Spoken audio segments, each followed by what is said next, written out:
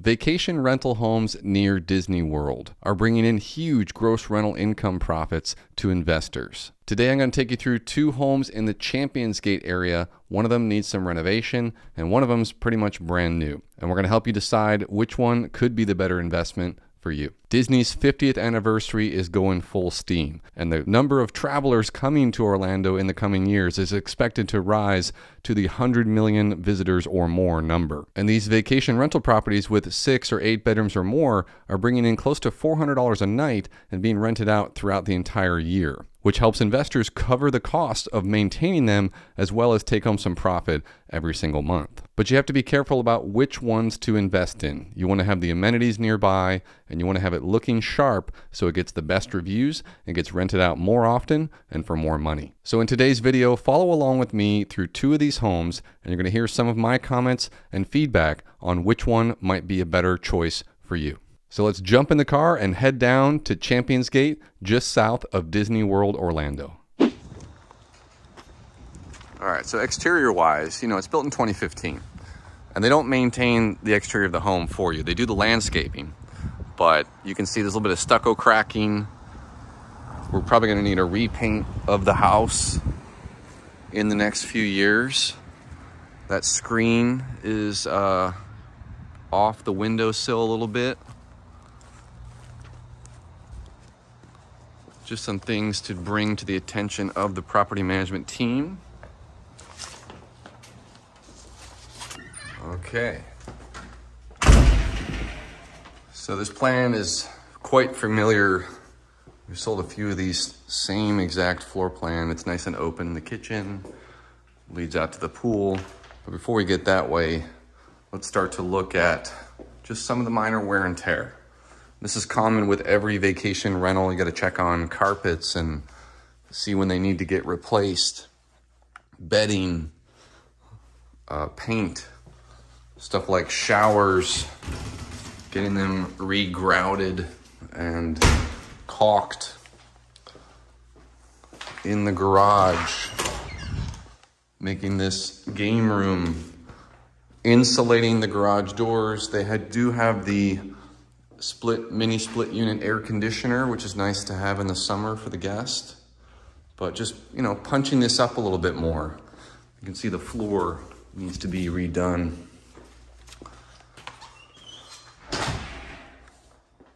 The tile is your basic square shaped. Here's one of those master bedrooms on the first level. We're talking carpet, paint, bedding in the bathrooms, making sure the showers are nice and clean, but the tile work looks pretty good. This goes out to the pool.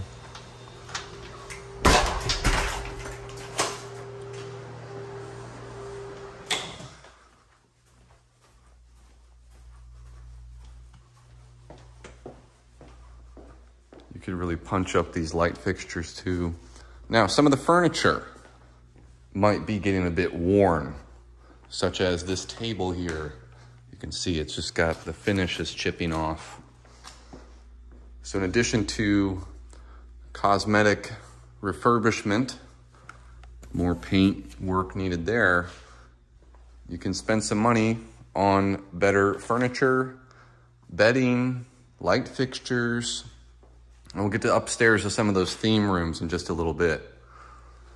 Let's go take a look at the pool. Okay, so it's a little bit cold today in Florida. Kind of a rare cold day, but you can see this sort of dry retention pond, not even a pond, dry retention sand area. It gives you a lot of privacy. And the road's a little bit curved, so you have a little more space between the homes here. The Oasis Club is just over there. Some of these screens have some little gaps in them, so we gotta get a screen person to come stretch these. I see some more stucco cracking up above there. Be nice to get the house fully repainted. The pool itself looks nice and clean.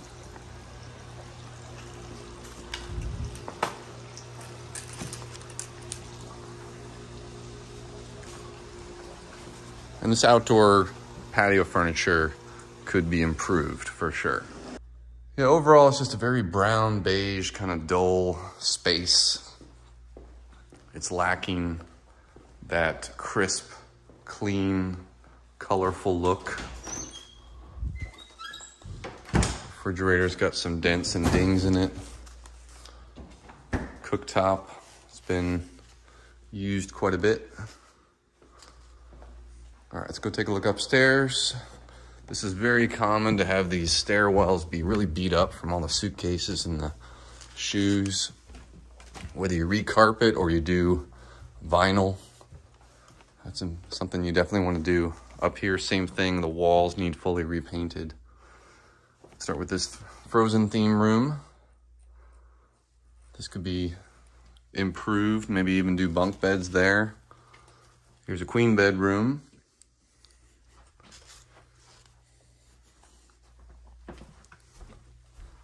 Can see it opens up to a loft area. And there's just bedrooms on every corner, but they're all gonna need, ooh, you can hear that.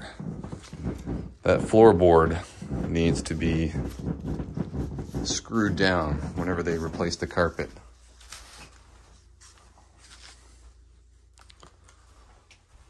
So more paint, more carpet, bathrooms here. Recalking. The granite tops are good, the cabinets are good.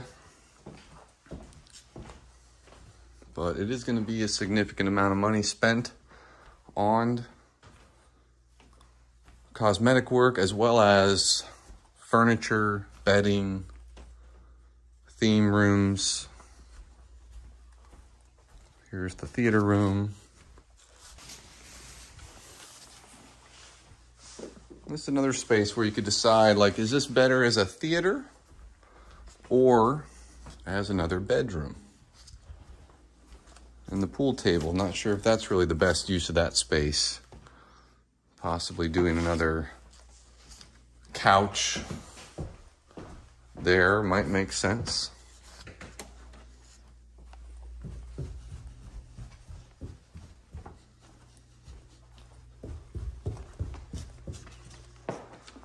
But that view out the back is very private. No home behind you. And we're very close to the Oasis Club.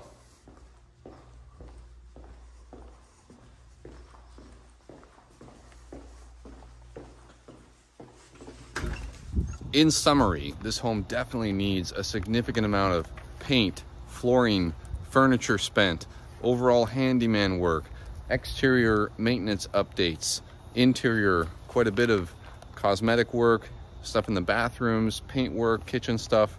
Not fully gutting the house by any means, but a lot of flooring and paint inside.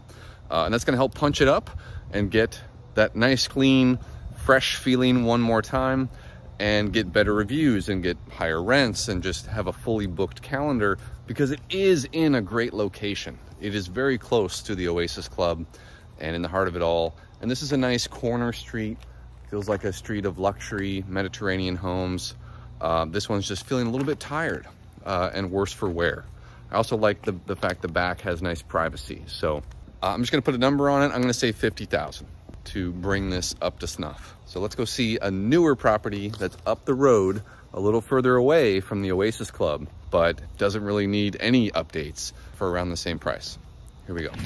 And we're back. Okay, so now we're at a newer property built in 2019. This is further north from the Oasis Club, but still part of Champions Gate, has all the access to that same pool.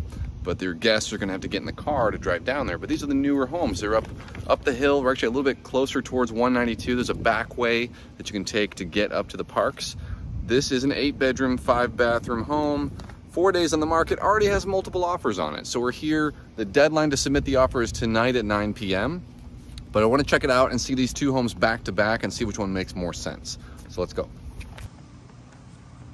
It's funny how now the architects are doing this kind of split roof line. Uh, obviously here, this is a vacation home community, so all the homes look the same, but uh, just interesting to see how they're bringing in some of that stone and modern roof line the way they split the stucco even.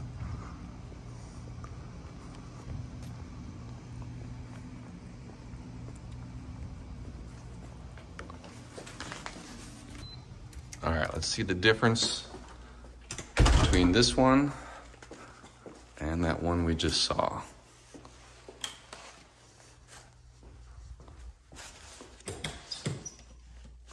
Okay, so very similar layout, right? When you first come in, there is a full-on guest suite right here. And this is newer, so the carpet looks better and the paintwork and the bedding. And in the uh, bathrooms, it's very similar, just, you know, a little bit cleaner, newer, nicer, durable tile. This L-shape island from the kitchen makes a huge difference. The white cabinets. Uh, this furniture is a bit small, I feel like, but it makes the space look big. That's a nice big table. Now, same thing, this carpets. They got a darker carpet there, a little more durable. And they have the railing instead of the knee wall. Let's take a look at what you pay for. So your guests booked this knowing they've got their pool, they've got golf course views out the back there.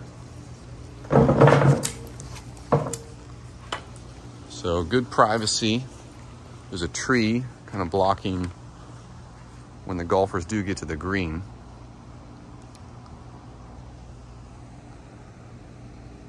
If you want to go to the Oasis Club and enjoy that, you still have full access to that.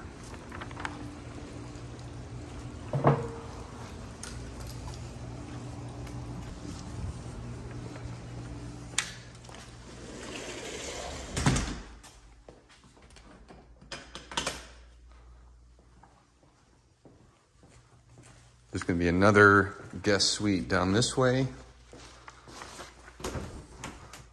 AC cabinet. This goes to the garage, which they haven't really made this into the full-on game room. It does have a pool table, ping pong table, but they haven't done the air conditioner just yet and insulated the garage. But you could definitely do that in this space.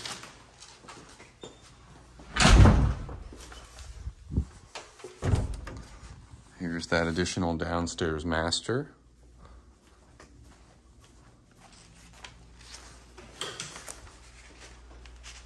So everything's just more gray and white. Just like the other house, this goes out to the pool.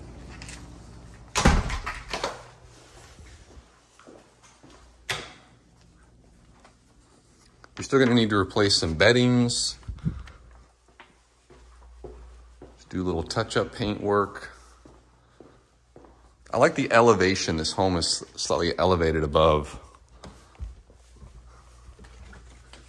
It's a nice railing here. All right, so you first come up the stairs. This could probably benefit from a little more theme room, being jazzed up. But then again, the, the neutralness of it is also quite calming. So same layout, the railing makes a difference. I like that. Okay, here's a theme room. Just a Nemo theme. Kids bath. And this bedding's gotta go. Carpets are good shape though, still. Rooms after rooms after rooms, right?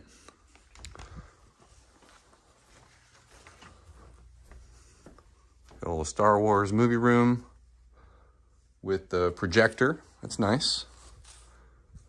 Did a good job there.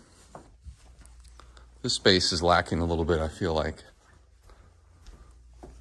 And I didn't see any bunk beds. You know, at least one of the rooms, I'd like to see some bunk beds to bring up that number of sleeps 20.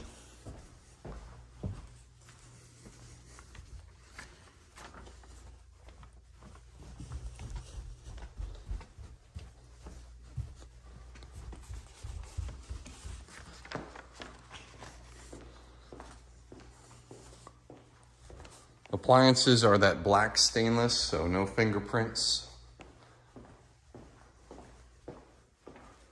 You can see that's already starting to happen here, just that little cooktop stuff.